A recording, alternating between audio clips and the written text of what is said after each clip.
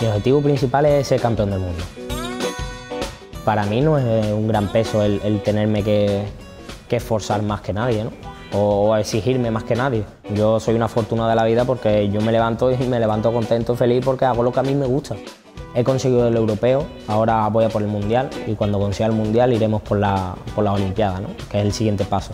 Hace dos años estuve lesionado del hombro, no podía moverlo, estuve seis meses lesionado y cuando volví hice mis mejores marcas en cualquier deporte. Eh, si no te caes, no sabes cómo levantarte. Es un deporte en el que tú compites contra los demás, pero tu mayor rival eres tú mismo, ¿no?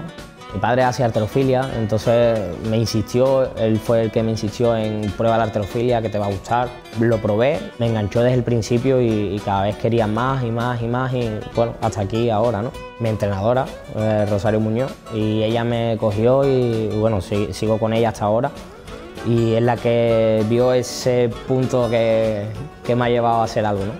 Tengo palmarés, pero todo gracias a mis entrenadores, que son los que me guían porque sin un buen guía no puedes llegar solo a ningún lado. Creo que la técnica es mucho más importante que, la fuerza, porque hay un dicho ¿no? que dice que más vale maña que fuerza y, realmente es así, ¿no? que nada te lo regala nadie y que si quieres algo tienes que ir con todo a por ello. Es la gran lesión que, yo he sacado de esto y que me vale no solo para el deporte, sino para todo en la vida.